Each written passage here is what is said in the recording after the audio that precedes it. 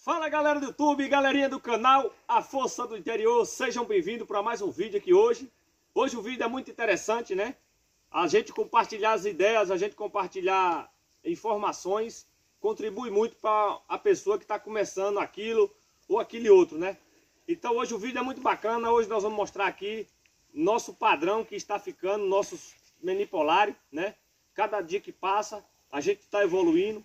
Cada dia que passa a gente está melhorando para quê? Para a gente chegar no patamar aceito, para a gente chegar no patamar que as coisas é, facilitem para quem está fazendo o manejo e para quem está visualizando daí também, quiser fazer igual a gente está fazendo aqui, né?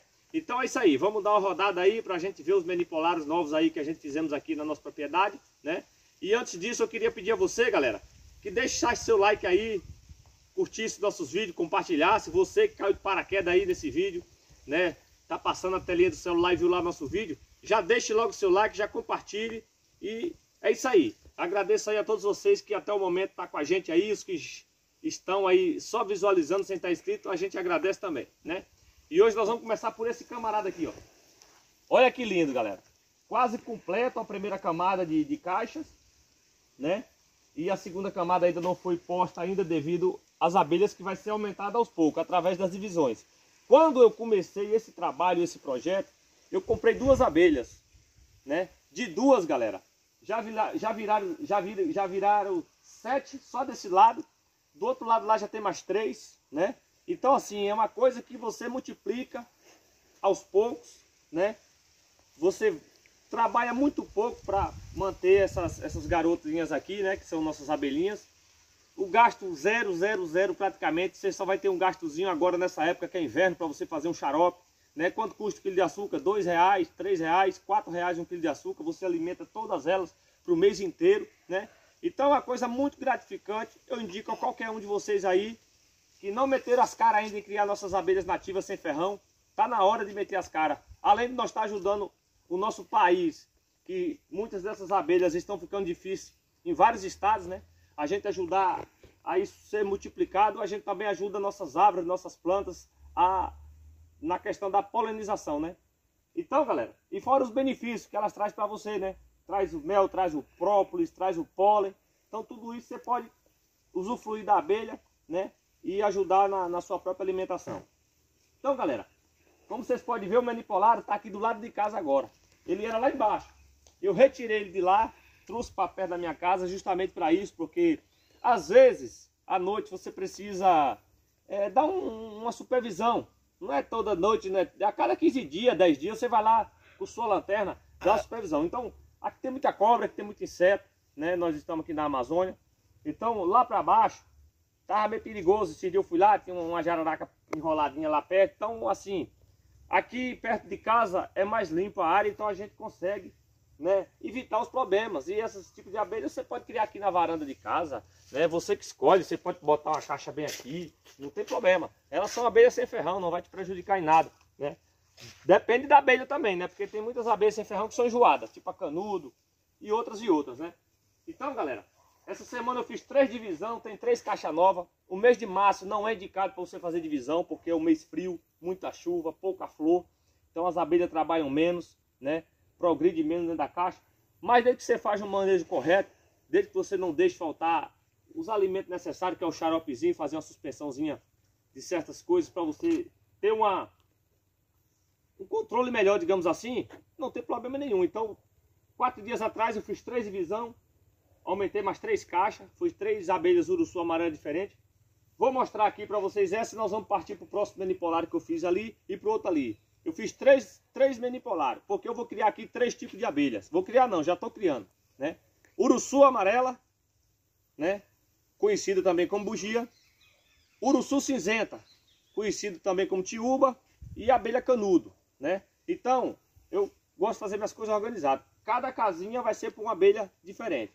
Hoje tem aqui dois tipos de abelha, mas de hoje para amanhã na madrugada eu vou tampar ela aqui e vou levar a urussu cinzenta, que são essas duas caixas aqui de urussu cinzenta, para o lugar dela.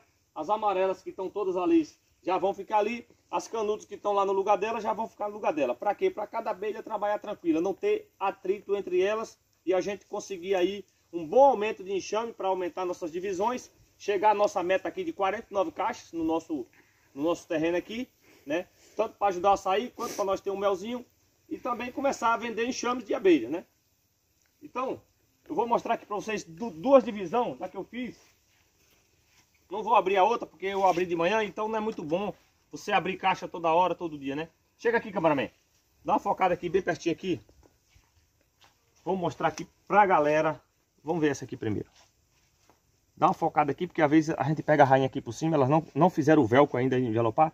É muito arriscado você ficar abrindo assim, caixa de abelha recentemente feita divisões. Por quê? Por causa do forídeo e o cheiro do fenômeno da rainha. Olha aqui a rainha, Vitor. Pega ela aqui, ó. Olha aqui a rainha, galera. Entrou pra dentro, já foi, se escondeu, ó. Ela é muito rápida. Então, ó, essa divisão eu fiz tem dois dias. Elas já estão fechando o velcro. Beleza? Vamos passar para a próxima aqui. Nessa daqui, se tu vier mais um pouquinho rápido, você consegue pegar a rainha. Se ela não tiver fechado o velcro, né? Vamos ver aqui. Já fecharam o velcro, olha aí, ó. Olha aí, galera. Tá vendo? Essa aqui tem dois dias também. Que a gente fez. Mas beleza, vamos deixar elas quietinhas aqui. Vamos dar uma volta aqui no nosso... Não vamos falar muito desse aqui, desse, desse manipular que eu fiz. Vamos falar do outro que é igualzinho para não agitar nossas abelhinhas, né? Então olha que lindo que tá ficando nosso manipularzinho, Tá vendo? Uma, duas, três, quatro, cinco. Mais cinco aqui, vinte. Mais, oh, dez. Mais dez do outro lado, vinte. Então aqui a capacidade é para 20 caixas de abelha. Vamos aqui. Procurei, eu fiz um triângulo na verdade, né? Um aqui, outro ali e outro do outro lado da casa. Para me ter o controle delas. Olha o mascote aqui. Olha, galera, que show de bola esse, esse, esse, esse que a gente fez aqui no meio do, do, do, nosso pomar. Que aqui vai ser o nosso, vai ser o nosso pomar, né? Olha que coisa linda. Aqui é especialmente somente para as abelhas canudo. Vai ficar aqui. Depois eu vou fazer a identificação.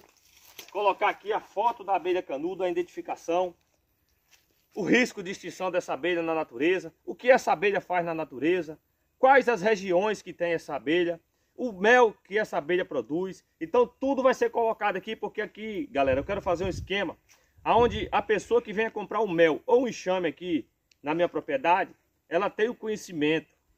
Não só vir aqui levar um potezinho de mel, não só vir aqui levar um própolis, não só vir aqui levar um enxame, levar junto com eles as informações. Que isso que é o importante, né? De, de você fazer assim a coisa ir para frente, né? Hoje em dia não basta você só vender o leite, você tem que levar algo mais do o leite. Então aqui eu vou trabalhar dessa forma, estou organizando, tá finalizado, esse aqui eu terminei ontem, olha que coisa linda. Mostra aqui a estrutura, cameraman. Bem simples, bem simples, bem simples mesmo. Mais um simples que funciona. Aqui, mesmo esquema, ó, as madeiras estão aqui, são cinco caixas aqui, cinco caixas aqui, 5 em cima e 5 embaixo do outro lado, então se torna 20 caixas, né? Glob, quanto tu gastou para fazer um, um, um manipularzinho desse aqui? Funcional, que é bacana. 200 reais, galera. Eu gastei para fazer toda essa estrutura, a mão de obra minha. Parafuso, madeira, teia brasilite, os morão aqui, eu, eu mesmo que fiz aqui, que eu tenho uma forma, né? Então tá aqui, ó. Testado e aprovado, que já tem 20 dias que eu fiz o lado de baixo, tá funcionando. Então aqui são modelo da Embrapa também, eu vi os modelos da Embrapa desse jeito, então através do modelo da Embrapa eu fiz esse modelo mais um pouquinho mais prático para mim. Eu coloquei um pouco mais alto aqui, o da Embrapa já é mais embaixo, devido ao cachorro que eu tenho aqui para não mexer, né? Então, com 200 reais você faz um manipulário desse aqui. Com mais 300 reais você adquire um enxame de abelha. E daí para frente, ninguém segura você. O limite, quem vai estipular é você, porque com uma caixa de abelha você faz um bilhão. Com uma caixa de abelha você faz 100 milhões. Então assim, depende de quem vai pegar, de quem vai fazer, da coragem, da competência, né?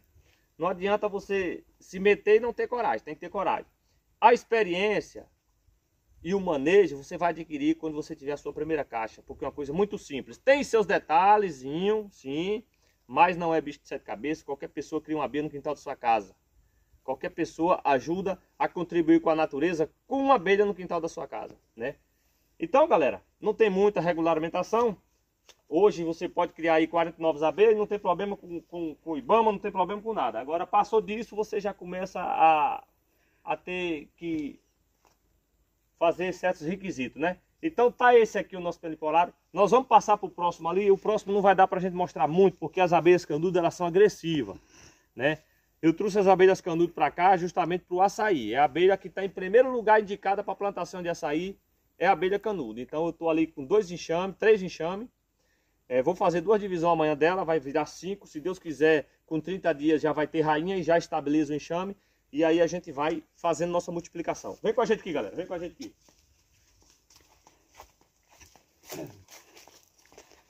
O vídeo vai ficar um pouco longo, mas o importante é a gente mostrar que o negócio está indo para frente. Olha uma coisa bonita aqui, ó.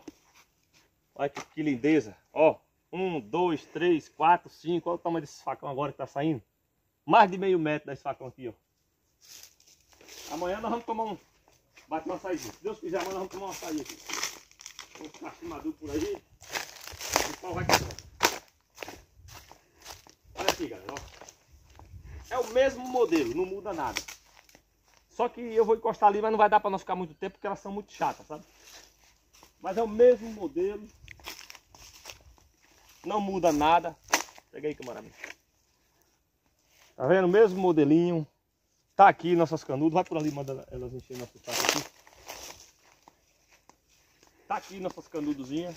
Três canudos, duas desse lado, uma do outro lado, né? Então, esse vai ser o nosso ponto inicial. Trabalhar com três tipos de abelha. Comercializar os três tipos de abelha. Fazer as coisas acontecer com os três tipos de abelha. Né? E o mais importante é contribuir com a natureza, é, cuidando da melhor maneira possível para que isso só venha aumentar. Porque quanto mais abelha na natureza, né, melhor para nós e vai ter mais frutas. Elas já estão enchendo o saco, por isso que eu parei de falar. Elas já estão vindo aqui já. Já veio aqui no meu vídeo já. Então é isso aí. Eu espero que vocês tenham gostado desse esquema que eu vou trabalhar aqui. Desses modelos de manipulário, né?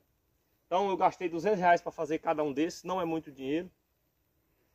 Uma caixinha dessa aí com 300 reais você consegue. Até 250 reais você consegue um enxame. E de um você faz um milhão. Que nem eu falei. Basta você ter coragem, né? E ir para cima. Eu tenho certeza que nós aqui vamos ser referência, nós vamos ser aqui bastante conhecido através das abelhas, assim como nós já somos conhecidos através do peixe panga, através do açaí. E aos pouquinhos a gente vamos se dedicando e melhorando cada vez mais. Todo manejo aqui, a gente vamos gravar, vamos mostrar para vocês como é que é feito. Já tem vários vídeos aí falando do, do, do, das divisões que a gente fizemos, até com acompanhamento técnico, né? A gente tem nossa técnica Amanda, que passa aqui uma vez por mês para nos dar o suporte, através do Senar, né? Inclusive eu estou até no Negócio Certo Rural, né? Negócio Certo Rural é, é um estudo que vai te ajudar a, a gerenciar a, a tua propriedade, ou teu negócio que tu tiver, e tudo vai dar certo, né? Então é isso aí, galera. Fiquem com Deus. Obrigado aí a todos vocês que estão inscritos no nosso canal. Deixe já seu like aí se você gostou desse vídeo.